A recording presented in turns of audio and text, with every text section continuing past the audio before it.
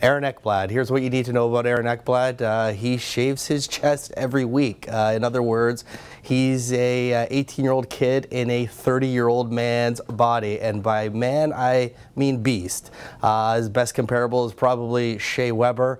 Uh, and I think if Erik Johnson didn't get drafted 2006, this really would have been Ekblad's draft. Uh, he obliterates forwards at the blue line. He's got all kinds of offensive upside. He really does it all. But Johnson went first overall in 06. He was a big time bust. And ever since then, people are, have been kind of cautious on picking uh, defensemen first overall. And that's Aaron Ekblad.